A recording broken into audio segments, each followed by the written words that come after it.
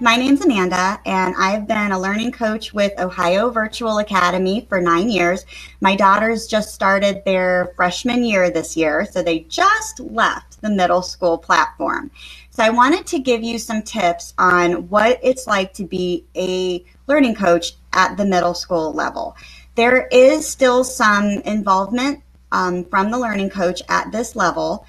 Students tend to be a lot more independent. You'll find that they have more required class connects at the middle school level that they will be doing throughout their day, but it does still require work from the learning coach.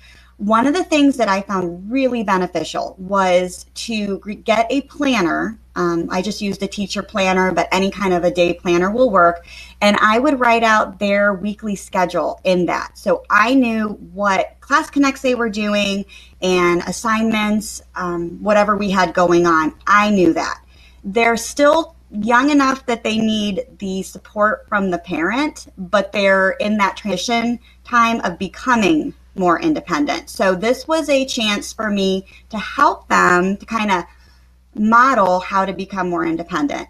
Um, there, some of the classes are offline. I think we had art and their language courses were offline. So that meant I was still presenting that with them and we were working through those together, but I was helping them to go through those somewhat independently. So I knew they knew how to structure their time in a lesson and felt really comfortable being independent.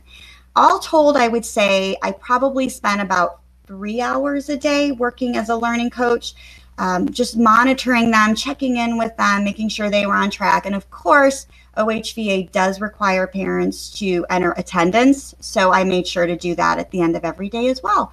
Hopefully, that's given you a little bit of an overview of what to expect as a middle school learning coach.